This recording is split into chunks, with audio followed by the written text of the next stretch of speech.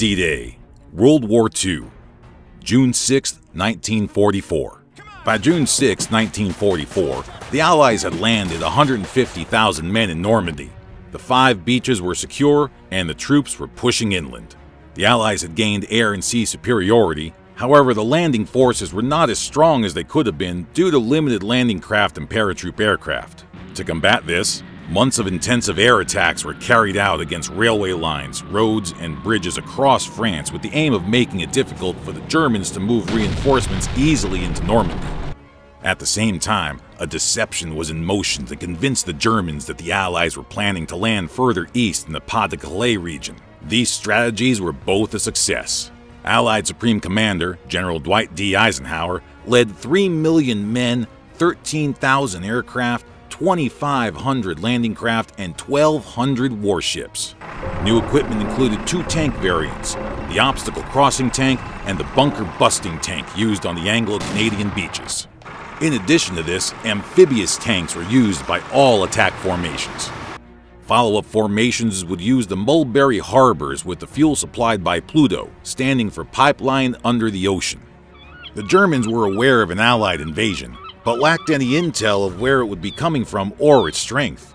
Field Marshal Erwin Rommel commanded the German forces in northern France and believed that his only chance was to defeat the invading force before it got ashore.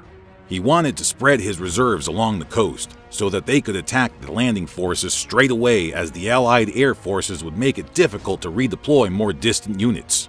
Rommel's superior, Commander-in-Chief West Field Marshal Gerd von Rundstedt Meanwhile, wanted a strong central reserve that would be sent in once it was obvious where the main Allied landings were taking place.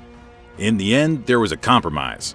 Some reserves were near the Normandy coast, but were not allowed to be deployed without permission from Hitler. The landings.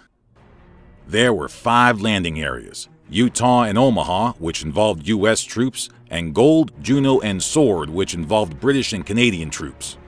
Two U.S. airborne divisions landed by parachute and glider inland from Utah and one British airborne division on the east flank of Sword. They took most of their objectives and disrupted possible German counterattacks.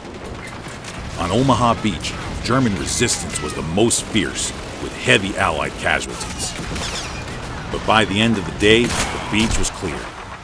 Utah Beach was the easiest to clear, while the other three beaches were somewhere in between. It was important for the Allied troops to gain as much territory as possible to make room for the follow-up forces. The inland advance later in the day, however, came up short of the D-Day objectives of Caen and Bayeux. There would be much harder fighting in the days to come. Subscribe to see more history videos.